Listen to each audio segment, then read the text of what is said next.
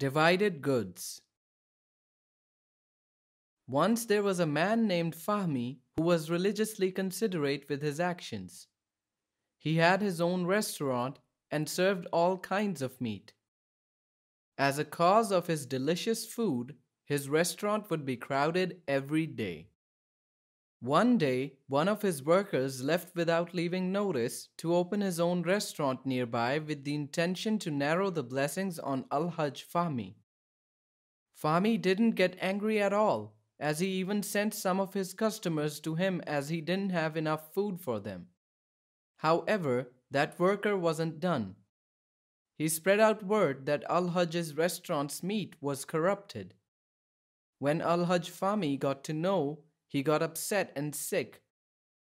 He closed his restaurant till he got better. The worker was surprised for not having customers for two full weeks. He figured out that he had customers only because of Al Hajj Fahmi, so he got upset and shut down his own restaurant.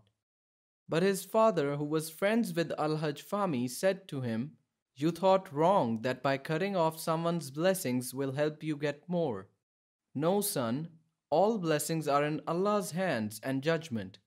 You just cut off someone's blessings who was the reason for your blessings when you didn't even know. I'm going to tell you a true story from back in 1958. In that year, the Chinese commander ordered his people to kill all brown birds as those kinds ate their crops.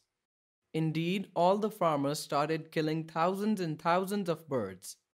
Whoever killed the most out of the birds was rewarded and treated like a champion.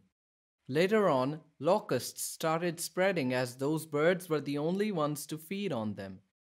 It ruined all the crops around the country, which caused the starvation of China in 1961. It led to the death of 15 million people from hunger. Allah created this world in a balanced way that no mind can comprehend. Son, you should go to Al Hajj Fahmi and apologize and make sure it comes from an honest feeling of guilt of lying to ruin the man's life. That made sure of what the Prophet said, and a man may be deprived of provision by a sin that he commits. The son started crying a lot and asked Allah for forgiveness and repentance. Then he went to Al Hajj Fahmi and kissed his hands, asking for forgiveness. Fahmi was really happy and forgave him. When he felt better, he went back to his restaurant again and kept his worker in many different ways. وقل اعملوا فسيرى الله عملكم ورسوله والمؤمنون